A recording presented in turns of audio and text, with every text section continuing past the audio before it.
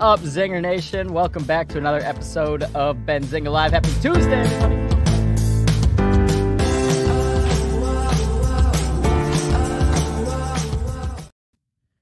Happy Tuesday, everyone. Hope everyone had a great long weekend. We're back here on Benzinga Live. It's good to be back. Good to be back in the office uh, after doing some traveling over the weekend. As we've been doing basically every Tuesday for the past couple months, we are going to be talking to Kaiju's Ryan Pannell today, talk about uh, some AI, some AI investing. Excited about that to continue that conversation.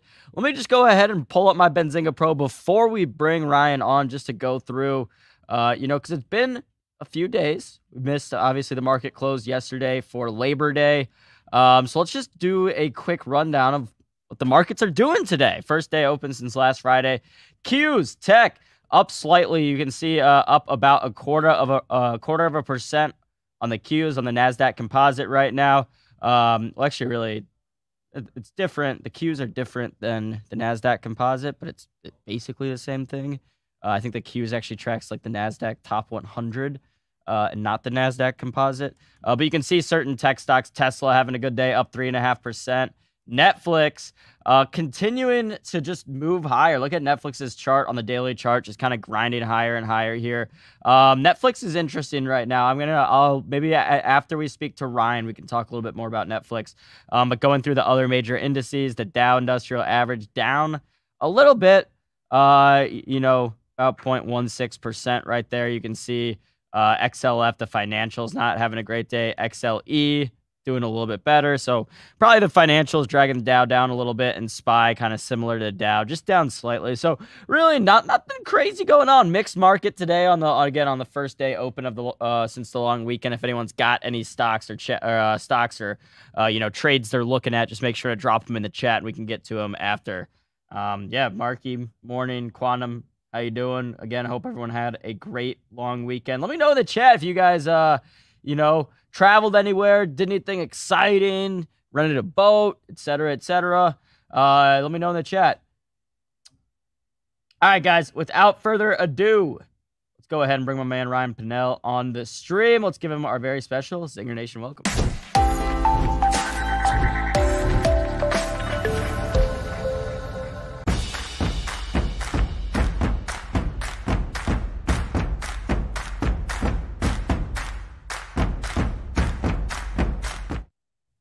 All right, Ryan, how are you doing today?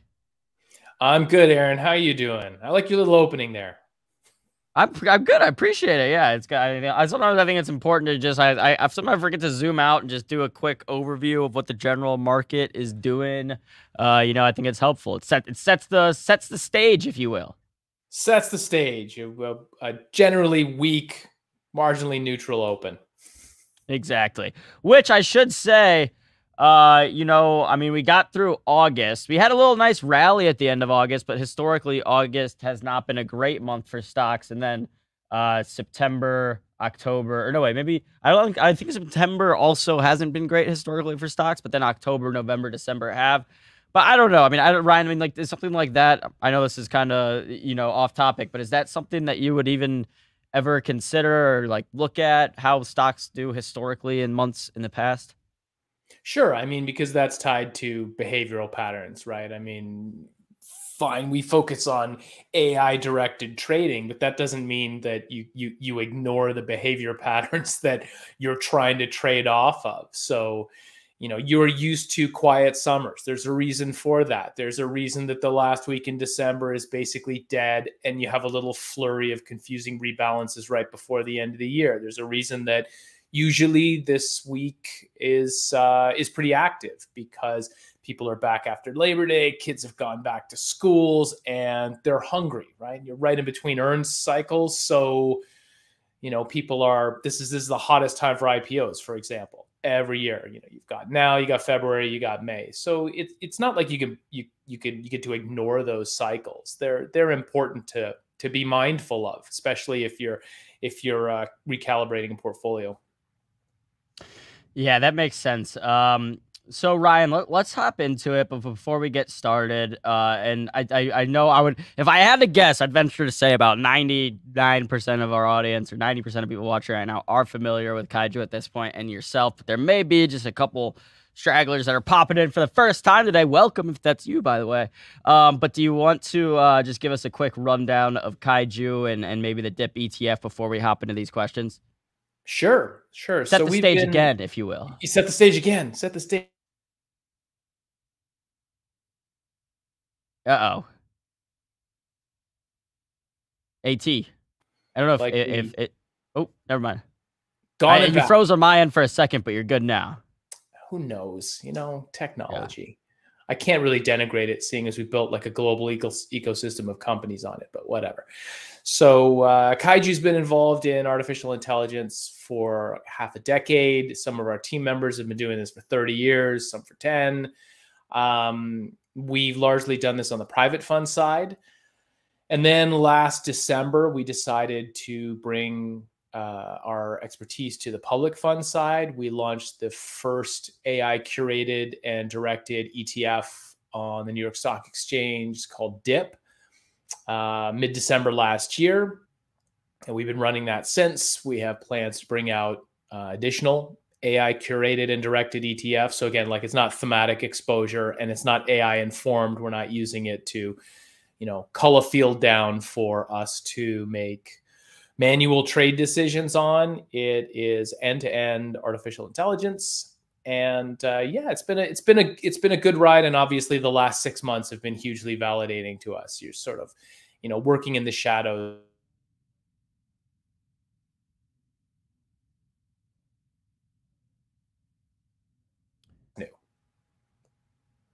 Got it. Um, I, I hopefully that's just on mine. Cut out again for a second, but uh, yeah, I think that might just be on on, on my end here. Um, all right, so so Ryan, let's hop into it then. Uh, I know you built a proprietary portfolio management and trade visualization pa- uh, platform at the genesis of Kaiju. Uh, can you describe this platform? I mean, it sounds just from that description like you know building a proprietary visualization platform. I'm sure uh, is, is is is not an easy thing to do. What did you see in the market that led you to building it? Uh, and is and is any part of that tech still in use today? Yeah, I mean that was that was it was actually called Kaiju. We we we were operating under a different name at the time, um, which was Synergis. Uh, and we switched to kaiju because when we started our kind of global expansion and things like branding and trademark uh, were elements that we had to consider you know our advisors came back and said that synergis just wasn't brandable really there were there were too many close uh, company names and we really needed to find something different to call ourselves and based on what we were trying to accomplish this sort of um, monster system that we were building we appropriated the name from this proprietary uh, tool set that we built, which was Kaiju, and we just named the ecosystem, all of our companies Kaiju. Um, and really, we we we built that. I mean, I'm sure anybody who's watching, who's been trading for a while, I'm sure there are there are tools, there are functions, features that you wish you had access to that whatever platform you're using doesn't do and you've customized these things, whether it's your OMS, EMS, or your visualization software, charting, analytics, to the extent that you're able to. But you get to a point where, you know, the developers just didn't build the specific tool that you want. And so most uh, sort of investment managers at our size or larger, when that happens, will build your own internal system. So you can work with, you know, companies like you know Bloomberg and they'll build custom panels for you up to a certain point. But really, if you're doing something that's very unique, in our case, there were there was a there were there was a system that we wanted to use to visualize complex options trades. And you know, we collaborated with CBOE via LiveVol and what is now LiveVol Pro used to be LVX. Uh, we collaborated. We tried to collaborate with Silexx. That that they weren't able to do much for us there. And no, again, no criticism of them. I mean, you're like one shop saying, "Hey, can you build me this, you know, weird thing that nobody else has asked for?"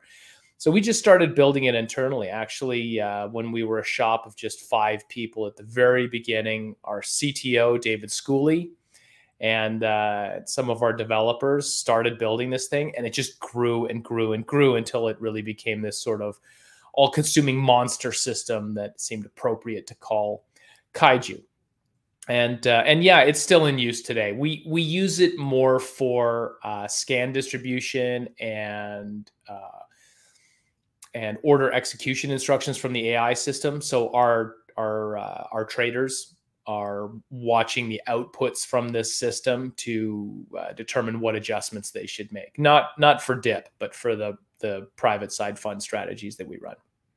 Got it. That makes sense. Um, so Ryan, I understand that you were uh, working with AI back in 2018. Uh, in a recent interview, you described the the view of what you were doing as practicing the dark arts. You were like you were Professor Snape over here.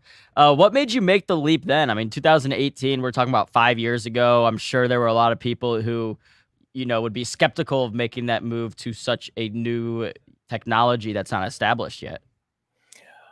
Yeah, I guess it for us, it really it addressed one of the fundamental challenges that accompanies quantitative trading and investing. Right, quantitative trading's been around for ages. There's nothing new about that.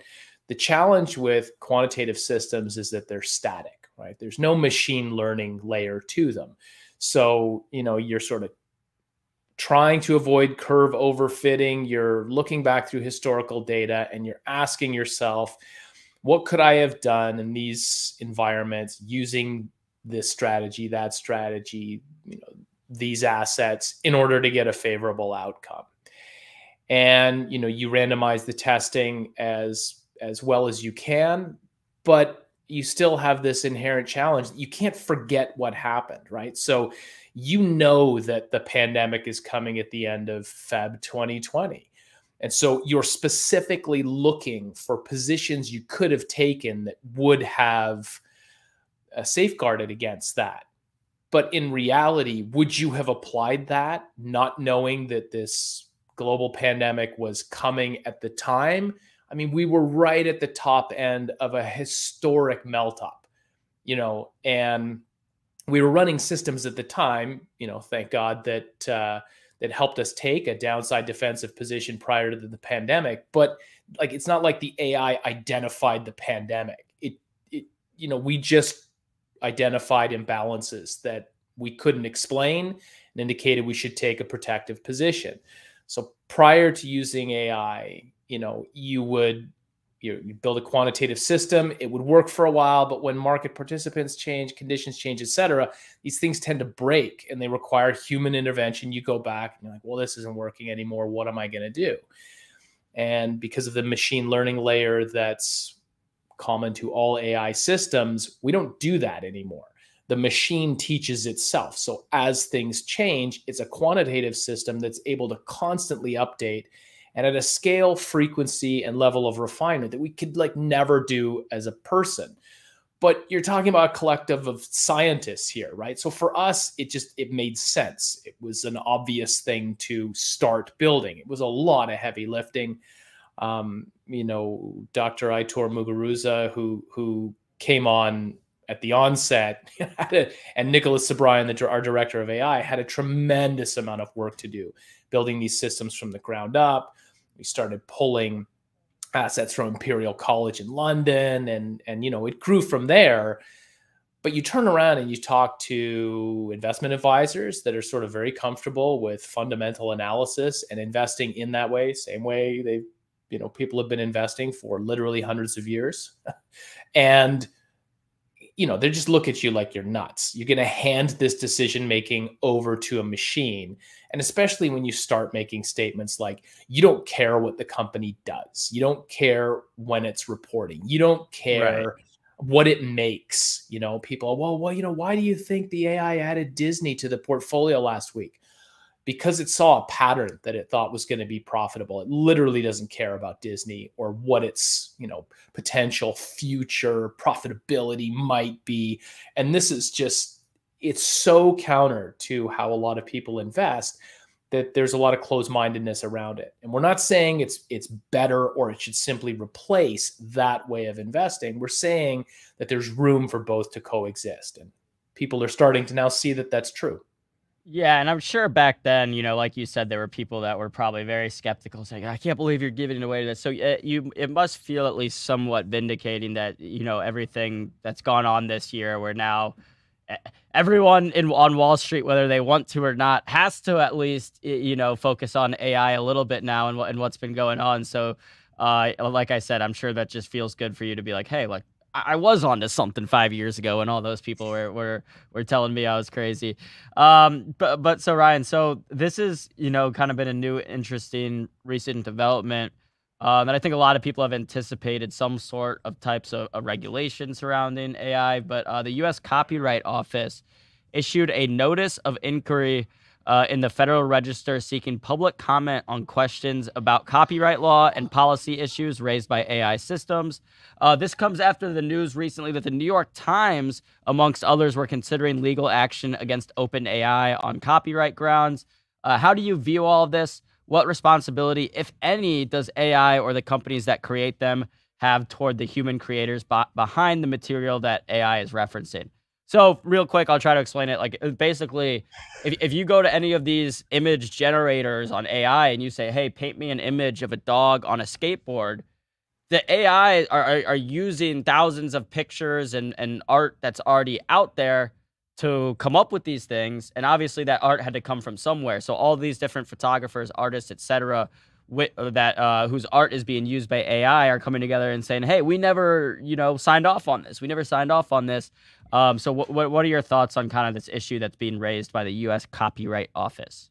Yeah, it's a it's it's sort of a, a, key area of focus right now, right? And it all boils down to model training. So when you build an AI system, and it doesn't matter what it does, but when you build a system, you have to train it on an enormous uh, number of data. And the question is, where are you getting that? right? And for financial services, we're lucky in that you know these questions never get directed towards us because there have always been mechanisms for us to buy data we all buy data benzinga buys data you know you subscribe to real-time data feeds you can buy from OPRA, you can buy from Arca, you can buy from Nasdaq, you can buy from Morningstar, Zacks. Like it doesn't matter. You know, like you've you've got these data aggregators. You can go out. We use ICE, and you know you buy these data from these institutions. You've paid for it, so now you could do whatever you want with these data.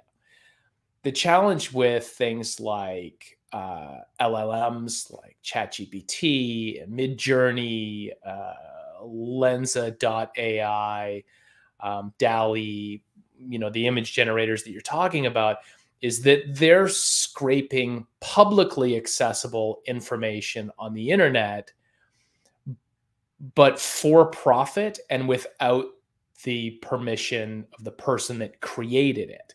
So just because you're an artist and you put your art up on you know DeviantArt or it's a stock image in a big stock library or something like that does not mean that somebody can come along train a for-profit ai system on it and then make money essentially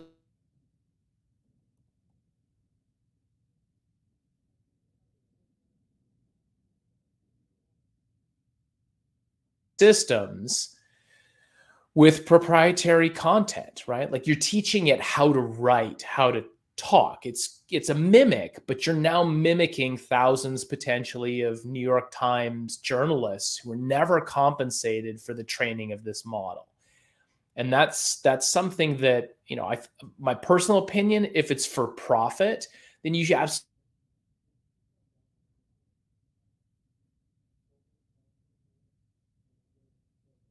music program and Apple TV, Netflix has done it, et cetera, et cetera. Like content licensing isn't new. So you can do it. It's just a obviously it's a lot cheaper if you build this monster system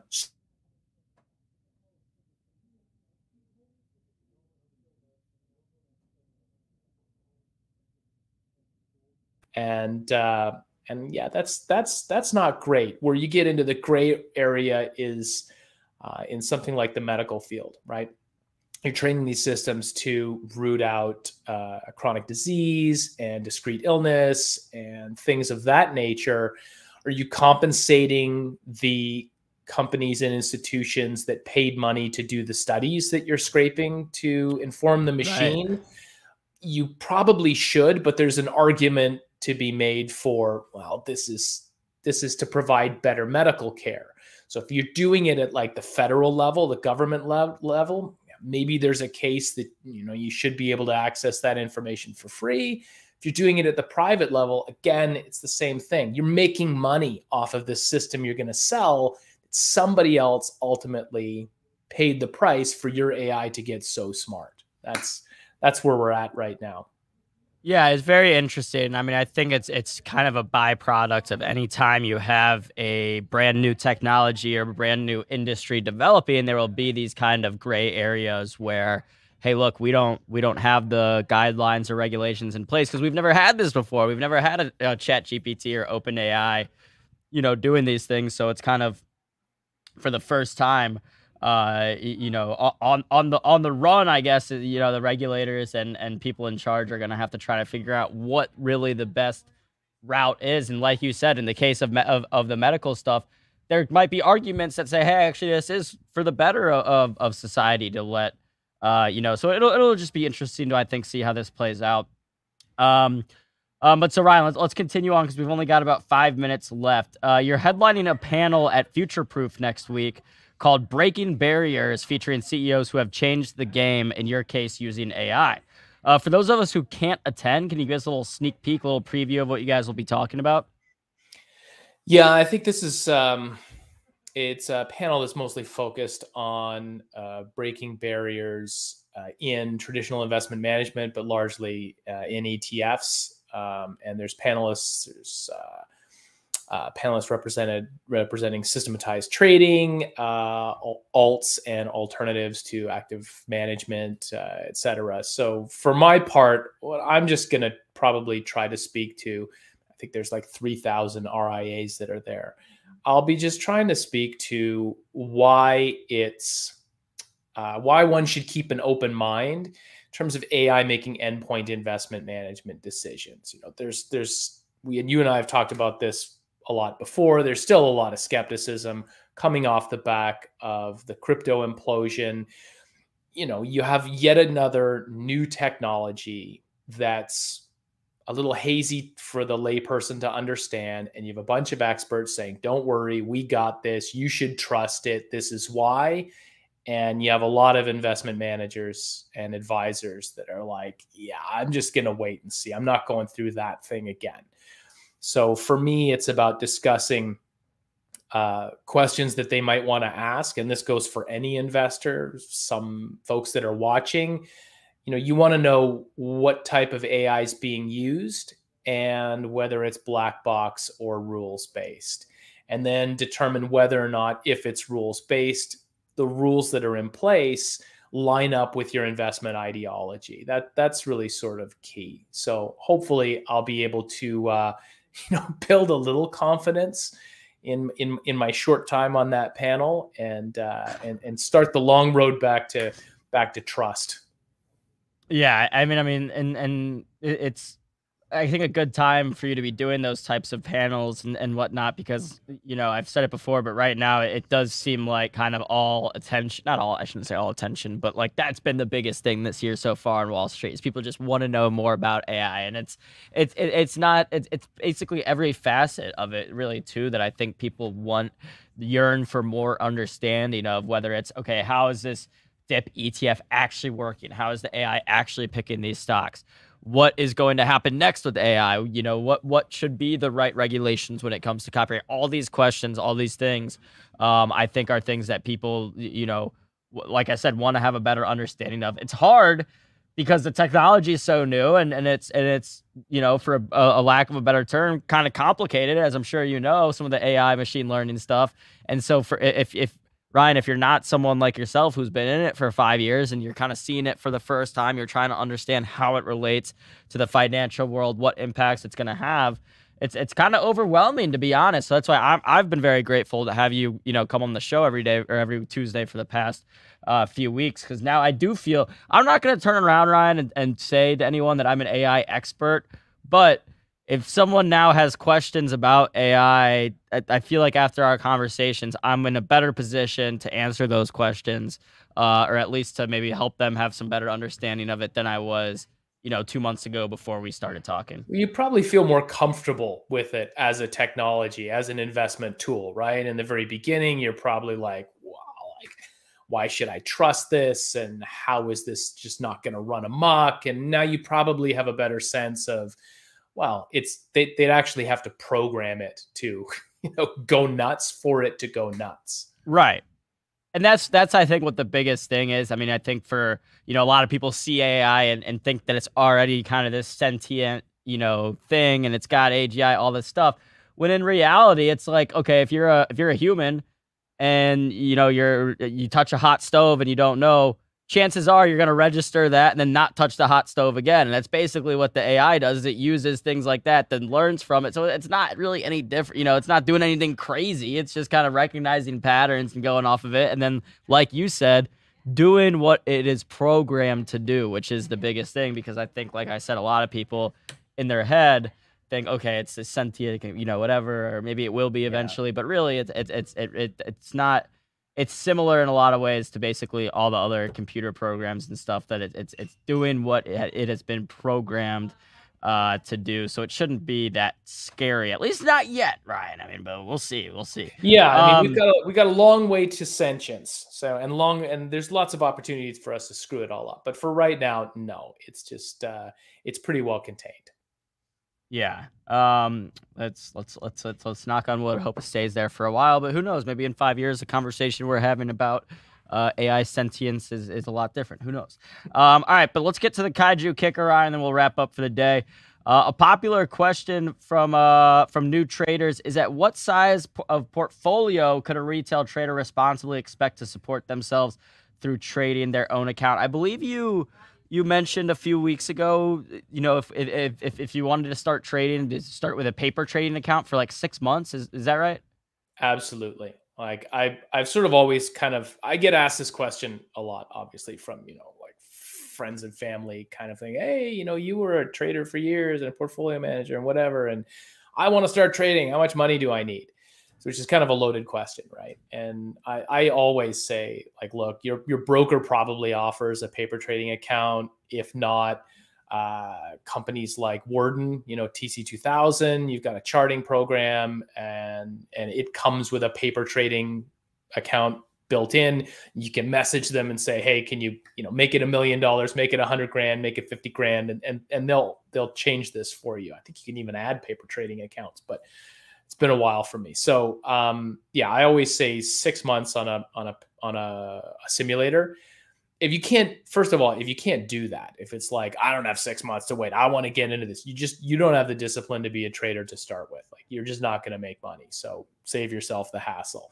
You should be able to uh, paper trade for six months. You'll probably go through at least two market conditions. So you're not going to get, you know, you're not going to get a distorted view of your profitability because you just happen to start you know training during a favorable market condition for your strategy and you're like i'm awesome and then you blow up. So it lets you see at least a couple market conditions. And if you're profitable on the paper trading account after six months yeah sure go for real money. If you're not you should probably continue practicing. Like it's going to be worse when it's real money. So that's you know bucket one that. And then getting started any amount, right? I mean, you could have like two grand, a thousand dollars, whatever. You can start trading really small amounts. You will not be supporting yourself at all at, at that size, and you have all kinds of restrictions. You will not be able to open that many positions, uh, and you won't have access to sort of like prosumer um, or semi-pro brokerage accounts like Interactive Brokers. That's I think they're they used to be 15 grand or higher. Maybe it's 10 now. I don't know, but uh, you can look it up then you get like a a pro- proper semi pro brokerage accounts. That's retail and small funds are are packed into that. Um, but anything under you know 21 or 25,000 the pattern day trader rule is is again going to limit you to 5 round trip trades a week right? So you can still trade. If you're practicing position trading then you, that's fine. You know you're going to adjust your portfolio weekly probably on Sunday anyway for execution Monday. Doesn't matter how much you have but if you want to if you want to intraday trade which you really shouldn't do but if you want to especially swing or, or momentum trade, then you need to be outside of the pattern day trader rule, which is over like whatever it is, $25,000. And then finally, over 100 grand gets you into portfolio margin and out of reg T margin, which means that you'll get your money will go a lot farther in terms of um, the leverage that you can use, especially with options. So, you know, you got these different buckets and it depends what you want to do. If you're looking, you know, if you want to, I don't know, supplant a $200,000 a year salary and use your own account, I hope you have a million dollars or more to stuff in that. Like you're just not going to make that over. I'm going to make 100% per month every month. No, you won't. Um, and I, I, wish you could. I wish I could say that you could, but you can't.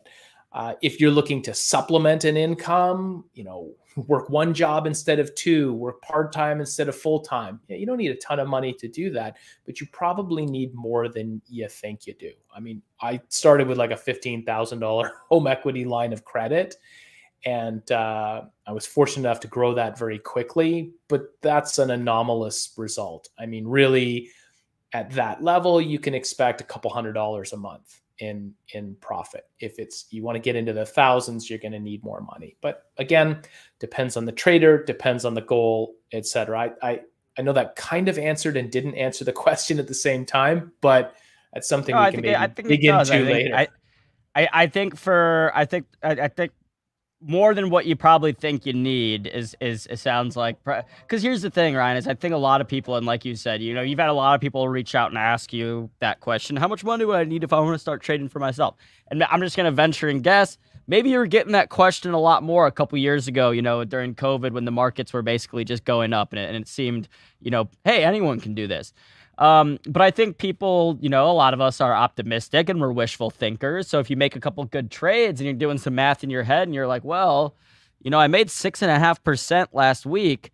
If I just do that every week, then I'm at 30% a month and then I'll be at, you know, 360% on the year. And then, you know, exactly. so I think a lot of people have this very optimistic thinking. So they think, okay, I can start with 10 grand and, you know, we'll have a hundred thousand by the end of next year. And it's like, okay, yeah, maybe you had a hot week or maybe you had a couple of like trades, but no one's getting, you know, six and a half percent a week or whatever it, you know, whatever. Exactly. So I, right. And you have and, like a good bet, you catch a gap, you know, your trade returns 18%. You're like, okay, so if I do that just 20% of the time, you're like, yeah, that's just well, I, I, yeah, I mean, look, Ryan, I'll be the first to admit, you know, I mean, I can be kind of dumb sometimes. I think we all can. I think that's just part of the human condition. Is we're as humans, like our brains aren't computers, and we, you know, just are dumb sometimes. That's like one of my big core beliefs is that we as humans aren't I just are not perfect, you know. And I remember like right when COVID hit, uh, you know, my my. So I was actually my my brain was actually being pretty smart, and I bought a bunch of puts on the market, you know, because I was like, okay, this COVID thing like seems pretty serious from everything I'm seeing, you know, from like the medical doctors I follow on Twitter and everything. But yet the stocks hadn't gone down that much. Either way, made like a bunch of money. Like there were a couple days where off like eight hundred dollars in my checking account or eight hundred dollars in my Robinhood account, like like made like three grand in one day just buying puts on on the SPY and, and Qs, and I was like shit, if I make a thousand dollars trading options every single day, it's like, no, of course, there, of course, you're not going to be able to do that. But I was right. like, I was like, you, I was like, because you forget, it's not just the drop, right? If you're buying put options, it's the VIX going to friggin' eighty. Like, right? I, I, literally timed that it. Ever I, happen? Like, I, I timed it that to happen too. Well, here, look, I, I, I can just. Oh, hold on.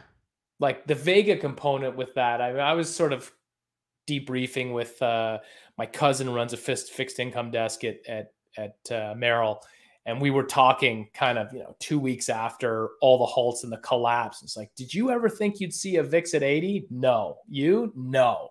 it's like if you'd told me last week, I'd think you were nuts, and yet there it was. Yeah, so this was my this is my Robinhood all time. First of all, up five hundred dollars. So let's just let's just put that out there. Not in the red. Uh, but February 2020, you can see right here. Boom. Here's where the the market crashed. March 16th, I think was like the lowest point in the market. I was up 11 grand. Guess what? Ha- guess what happened within two months of that, Ryan? Bam, back down to up 640. So, uh, you know, that was a good learning experience for me. It was kind of my first time trading options. I was like 22, and I was like, you know, I mean, I th- honestly, I should, I could, I, I, I hindsight's twenty twenty. If I just would have sold all my options, just like put it in the spy, I'd be up double that right now, and I would have had, you know, it would have been less work. But I, but you, you know, didn't got, know, right? You didn't lo- know. I didn't and, know. Now I do. You know, when when you when you first trading options and you've got your directional component that's working for you, or it's like right before expiration, the move happens, you get a gamma kick there you're not really sure the Vega component, so you're not paying attention to VIX at all, you know. And you have one of these, you know, I I I knew uh, a friend who started trading options, did a little course, and then during um, uh, the first threat of the trade war uh, in uh,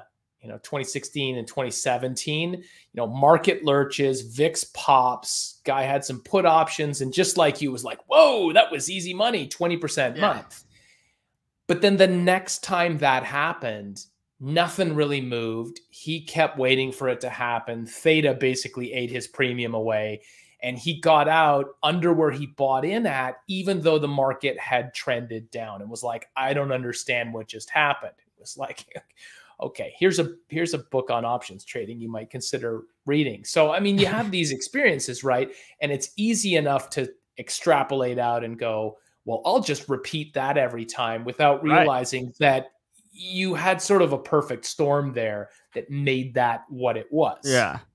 Yeah, I don't know if you ever golf, Ryan, but it's like if I hit if I hit a drive just right down the middle of the fairway, I could I can be like, oh, I'll just do that every time. Yeah, I'll, I'll do that every time. That.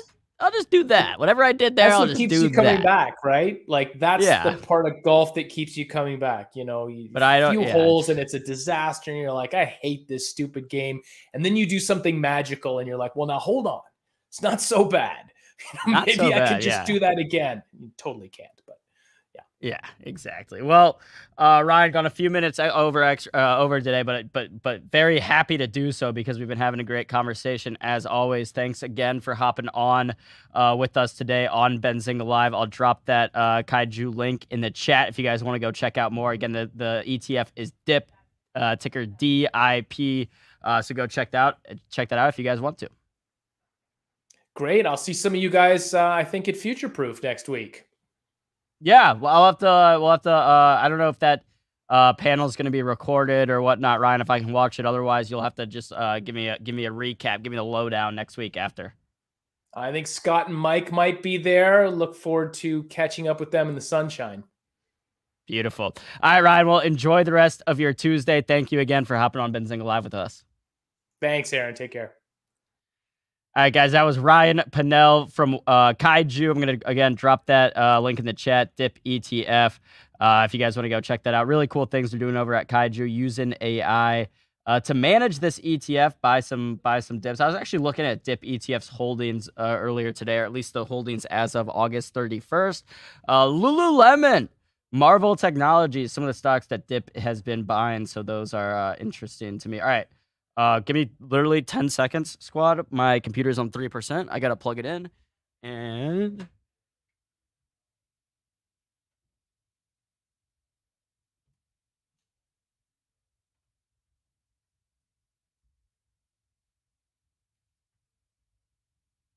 All right. Let's see if this works. Bam. It worked. All right, guys. Uh, only got a few minutes left of this show today. Let me just go uh, go ahead and pull up my Benzinga Pro, uh, and we'll run through some stocks. I mentioned Netflix earlier, so I gave a thesis on Netflix on this show a while ago. Um, that basically, okay, and and, and granted, this was back when uh, Netflix was a little bit lower of a, uh, you know, the stock price was a little bit lower. It was in the 300s, not the 400s. But my thesis on Netflix was this: it's the fact it's that a good market slash economy okay, Netflix's stock should benefit from that, uh, in part because Netflix's stock. Remember, I mean, when when growth went out of favor, Netflix's stock went down like 80%. Netflix's stock was one of the, the the the the, stocks that drew down the most. At least when you're talking out of these like mega market cap, you know, I mean, Netflix's stock like drew down more than an Apple did, more than a Microsoft did. Uh, and I'm talking about, of course, in, in 2022 when the markets kind of kind of started to turn over. Netflix's stock has been on a big, big, you know, uptrend since. It's basically at uh, you know, a little bit more than half of where it was at at its highs, but I mean, it got down to about 150. It's back up to 450 right now, so about three three times um, from those lows in mid 2022.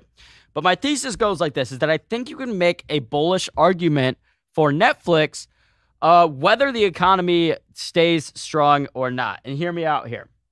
So, as uh, you know, as more and more economists anticipate some sort of economic slowdown, uh, and and that's you know, of course, because of the Fed continuing to raise interest rates, inflation, uh, you know, persisting at least somewhat, people's credit card, you know, debts on average rising. So there's this there's this idea that at some point, maybe not right now, maybe in a couple months, maybe in six months, there will be a general, you know, um, not not a like grinding halt to the economy or anything like that, but there will be a general slowdown of spending just slightly. Which any slowdown, I mean, the our economy is basically is, is reliant on growth, right? If GDP growth was just zero percent, zero point zero percent all the time people wouldn't be that interested in investing in the U.S. economy. It's not growing. So the, being stable isn't really enough for the economy. You have to be growing. That's part of our system. Is you have to be uh, growing. So any type of slowdown is seen as I don't want to say catastrophic, but I mean like like I said, any even if it's a even if it's a, a mild slowdown in spending, people will construe that as a recession. My thought is that it, when and if families do start cutting back on spending, Netflix is actually going to be something that people cut like last. And hear me out. If you're talking about eating out, you're talking about vacations, you're talking about uh, you know getting food delivered, you're talking about entertainment costs like concerts and sporting games. Every single one of those things that I just mentioned, including just getting one meal from Uber Eats or from DoorDash, etc., costs more than a monthly Netflix subscription. If a family is trying to save money, Netflix is probably the best purchase you can make. Because if you've got eight kids, sorry, I don't know why I said eight. That's a lot. I don't think people have eight kids anymore. If you've got four kids and you got to all spend money on them doing shit, buy a Netflix so that they can watch, you know, countless episodes of SpongeBob is like the best eight ninety nine you can spend per month right? If you're if you're right, I'm not saying turning on Netflix for your kids is as as entertaining for them as going to Disney World or going to you know the bowling alley, whatever it is. Of course not, but it is going to be cheaper. It is going to be cheaper. So for families that are trying to save money in an economic slowdown, I again think Netflix is one that, if anything, benefits from this because there will probably be people that are saying, okay, well, let's get a Netflix subscription and that way we'll try to save money in these other areas. Now, here's the point. Here's the point of my thesis where I'll say that I have no data, no anything to back this up. This is just a hunch that I have. And then again, the flip side to that, so that's kind of in, in a bearish economy, that's how I view what would happen with Netflix in a bullish economy, guess what? The stock keeps going up because we're because it's a bullish economy, and Netflix's stock is still, I mean, it's still beaten beaten down from where it was. It's a 28 PE. I mean, it's it's not like this is like super overpriced. Uh, you know, price to sales is 6.1. I mean, right now, I think I think subs subscriptions are growing because Netflix, you know, started cracking down on the password sharing and all this stuff. So, look, I'm not saying I'm, running out and backing the truck up on Netflix right here. I'm not saying that. I'm just saying if you're looking, I, I just wouldn't look at 450 on Netflix and think, okay, this is so overpriced. I don't want, you know, I, I can't touch it. So just something to keep an eye on. Uh, Netflix.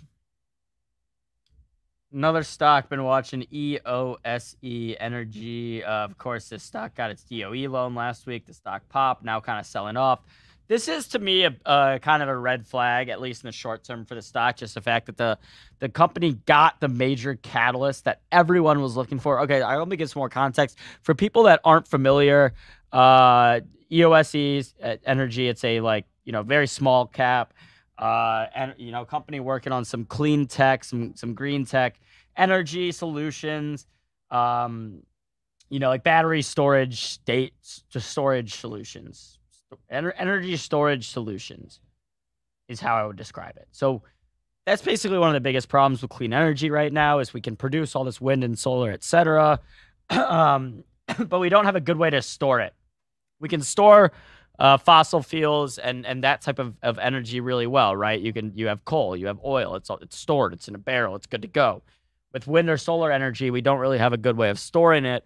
Uh, so once someone figures that out, they're going to make a lot of money. EOS has some promise in that. Uh, await, they were awaiting a DoD loan to get some of this moolah, some of that bread from uh, Biden's administration that's been investing a lot of money in different clean energy initiatives. A lot, a lot of a lot of anticipation about this loan. A lot of retail investors were getting in this stock. The company got its loan last week. The stock popped up to about 480, and now it's back down to 370. Sorry, guys. I don't know what's going on with my voice right now. So, what that tells me that the a lot of people were hype on the stock itself, like as an investment, because of this DoD loan, and because the stocks dropped so much from, I mean, 480 down to 370. There's a lot of explanations from there, just that it, it had a lot of hype. Uh, could have been kind of one of those buy the rumor, sell the news events. Um, but in I like I mean I this movement is significant to me because basically you have retail investors who are buying the stock because the DoD loan. The company gets the DoD loan. Okay, now the stock's back down. If um if if this DoD loan was immediately so impactful for the company and the company's revenue and bottom line, like and I'm talking like okay, they get this DoD loan and then next quarter their profits are going to be up 100%, I think you'd have like some more big money institutions, players coming in here and saying like this is interesting. Now, part of it is you know you you can't get a lot of in terms of like wealth managers and people that have you know billions of dollars of assets under management of mm. different wealthy people and they're out buying investments and stocks for these people. A lot of times those people will just kind of shy away from stocks these small anyway because even if even if they're right and it goes up 100% there still might be people that like hey what the hell were you buying that you know 500 million dollar company in my portfolio for so I think that's part of it that there's you know just market cap requirements for certain stocks, uh, and that that certain institutional players can't get in because of that. But like I said, my bottom line is, look, now they got this loan, it's out there. Why hasn't why why why hasn't you know that bullish activity continued? Not even continued. Why hasn't there just been enough buying pressure to at least keep that stock like elevated under or from where it went? So we'll see. Uh, definitely an interesting one. We'll keep an eye on Netflix, EOSE, two of the top ones that I'm watching. Uh, at the moment, all AI trading tools are snake out. Okay. Well, that's why I like. I mean, I wouldn't go out right now, Wham Trader, and buy like an AI trading bot or whatever. Uh, but if you were interested in it, you know, you can just buy a few shares this DIP, dip ETF. Then dip it, ETF is kind of doing it for you. You don't need to like buy any of these tools or anything, which is what I like about it. It's a good way to kind of get some exposure. You can do it with just like a hundred bucks. See what it's doing with that hundred bucks. I don't know. It's worth checking out. Um, but all right, guys, we're gonna go ahead and wrap up the show today. Uh, I hope everyone had a great long weekend. We'll be back again all week with some great content here. Smash the like, subscribe to the YouTube channel if you have not already, uh, and peace and